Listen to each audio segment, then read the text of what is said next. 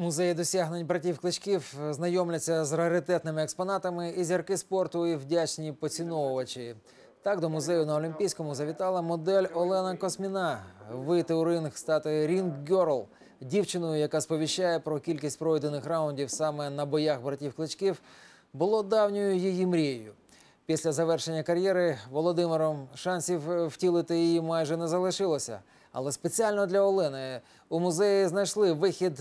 Дівчина, яка брала участь у нещодавніх показах Sports Illustrated, таки вийшла у ринг, а музейний в музейний ринг. А в руках замість номера раунду тримала перший професійний контракт Віталія. Ось так було здійснено мрію палкої прихильниці таланту братів Кличків.